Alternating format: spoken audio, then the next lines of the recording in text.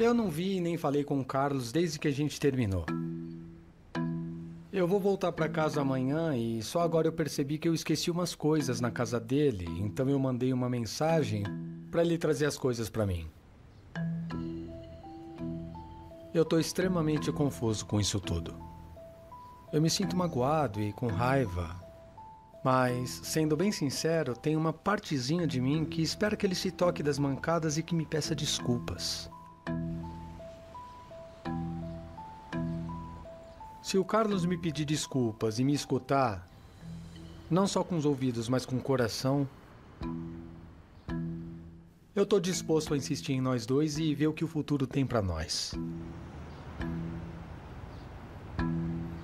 Oi. Ah, oi. Eu trouxe suas Obrigado, coisas. tá? Você foi muito gentil. Eu não queria ter te dado esse trabalho. Não foi nada. Ah, infelizmente as coisas não saíram como planejado.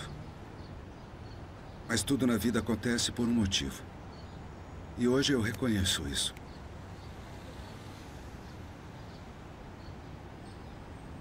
Eu sempre vou lembrar das coisas boas que vivemos.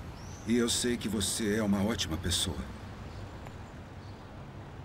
Eu te desejo tudo de bom. E. Obrigado por tudo, tá? Era o que eu tinha para dizer. Tá certo. Obrigado por falar, tá? Tá bom. Eu desejo tudo de bom pra você. Tá legal. Fica bem. Você também, obrigado.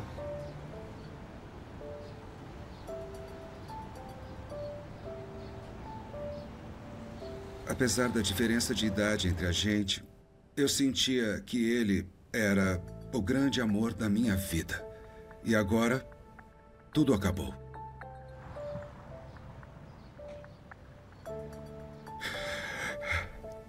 É tão.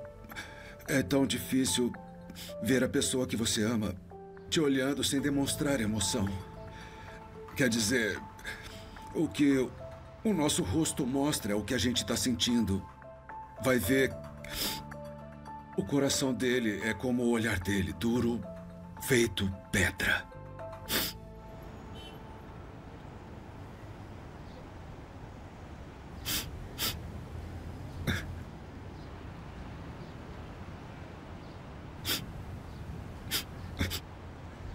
Esse com certeza não é o homem por quem eu me apaixonei.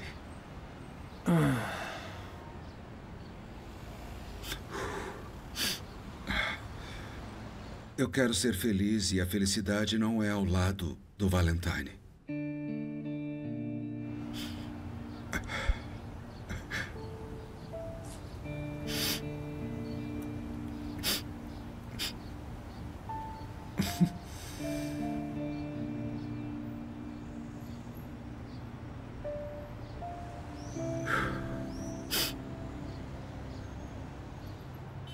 Ficou claro pra mim que ele não vai se desculpar.